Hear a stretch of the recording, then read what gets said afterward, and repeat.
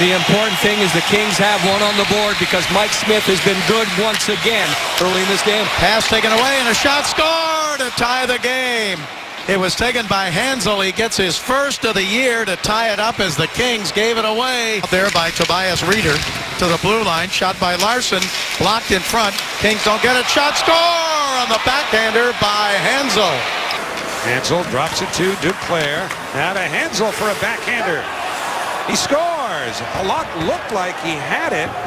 And then it found its way through, and that takes care of the shutout bid. Tipped away by Rieder. Gallagher hustles after it. He'll knock it in, but now it comes back the other way, and it's Duclair that's on it. Anthony Duclair, wraparound attempt, throws it in front, loose puck, they score! Martin Hanzal all alone tips it in, and for the fifth straight game, the Canadiens have allowed the opening goal. Best scoring chance of the game so far for the Coyotes, and it comes short-handed. Sharp angle. Score! And it was put in. I think that bounced in off Hanzal. And it's 1 nothing Coyotes. Dahlbeck winds up, shoots, tip wide. Duclair got it back to Stefan Elliott.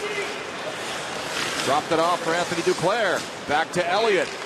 Long wrister, they score! And that one off the stick of Chris Russell. Michael Stone pressured, but able to make a pass to Duclair across. Now it's centered. Hanzal scores.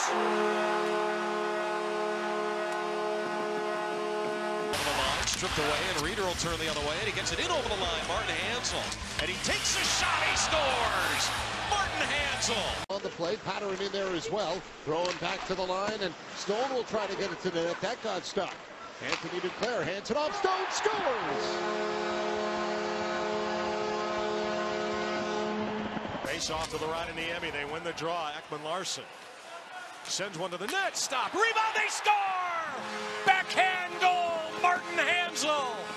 And the power play goals made it 4-2 Coyotes. Across Stone.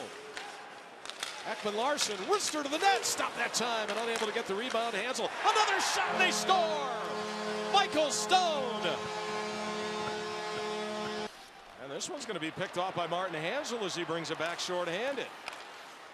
Just try to chop one towards the net, looking for maybe Max Domi. Comes in front, back out high. Dahlbeck, he'll tee one up, and it goes down to the ad, went in on the rebound. The earlier hit, and back the other way with some beat comes Duclair. Hands it up and pass it front. Hanzal scores!